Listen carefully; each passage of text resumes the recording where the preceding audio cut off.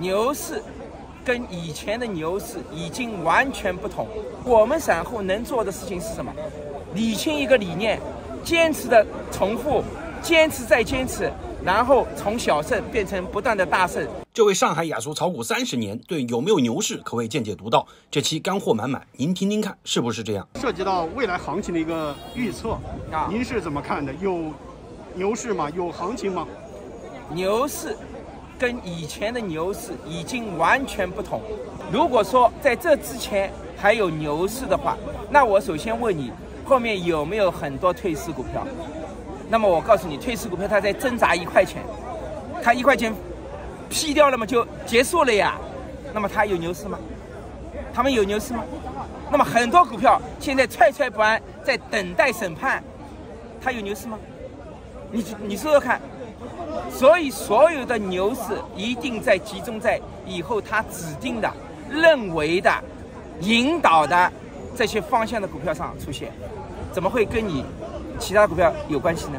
所以你搞清楚，来说几个数据啊，让大家重视一下以后什么叫大数据看股票。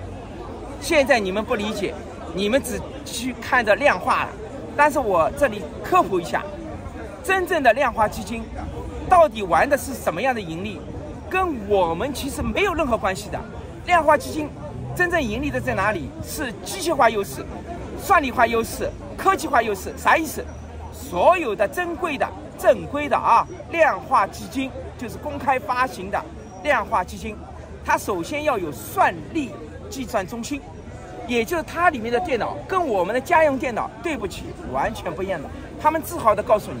一个月里面我就停顿了两秒钟，听懂吗？一个月里面我这个计算机中心就停顿了两秒钟，其他时候都是畅通的。你家里的电脑从一个早上到下午不知道停顿了多少，你只是不知道，你以为没有停顿，实际上当中已经不知道卡掉多少了。所以在这种情况下，你才能明白量化中心做的什么。他明白的告诉你，这不是我说的，是所有发行量化基金的那些啊营销者们带着。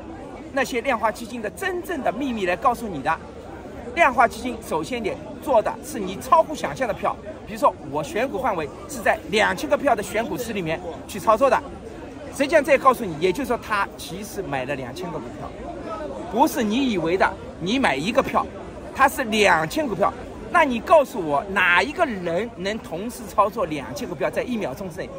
他不需要，他是机器。他下达指令，在一秒钟之内，两千个股票里面有五百个符合条件的，一秒钟之内买进或抛出就成交了。你告诉我你怎么做？跟你有毛关系吗？没有任何关系的，所以都想多了。那一种你们以为的搞掉的那个叫排单，懂我意思吧？是人家做，比如说大的资金在排单，集中性的攻击或者集中性的出货。那个叫条件选股设单，你自己也能做的，懂意思吧？只是你的量比它小。你比如说就是五百股，五百股，你设定一个价格，啪啪啪往下一打，也一样的，一分一分往下打，也可以跑掉的。当然现在有很多票，不要忘了要给你们推广一个思路，有些票是挂不出去的。为什么挂不出去？因为有价格融资啊。所以到价格融资的时候，它又比你优先了，因为它有通道，它排在你前面，所以你会发现。相当于百分之二，他要跑的时候直接挂在跌停板上，他跑掉了。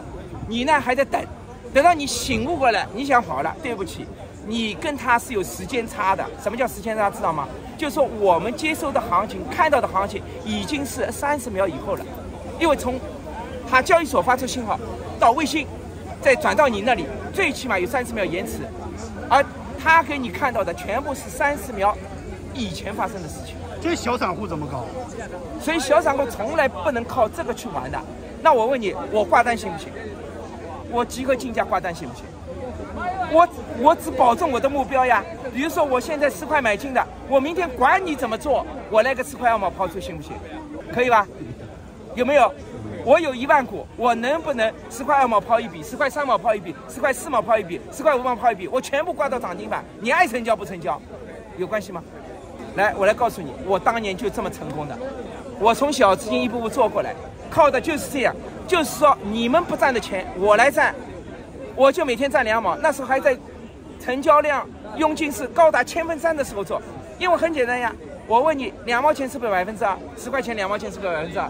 我百分之二的级别，你千分之三的手续费，我就给你来回了，你也就千分之六啊，再给你加上当时的印花税佣金，你也顶多百分之一，那我是不是每笔还在百分之一？那我每天那时候波动很大呀，每天波动很大，就意味着我来来回回一直在做啊，所以才有一句话：积小胜为大胜，是一步步做出来的。所以我们散户能做的事情是什么？理清一个理念，坚持的重复，坚持再坚持。然后从小胜变成不断的大胜，这个是我们所有散户都能做的事情，因为这是他做不到的。因为为什么知道吗？你看他资金大，有一个问题来了，他资金大，他怎么做？像我这样的，比如说我，我如果只有十万块，我一万块一笔，五千块一笔，二十笔全部做完了，他能做到吗？你给他算一些，算笔量，我是十万块，他是十个亿，你告诉我，我做那个五千块，他要做多少？他妈，一千的成交量都不够。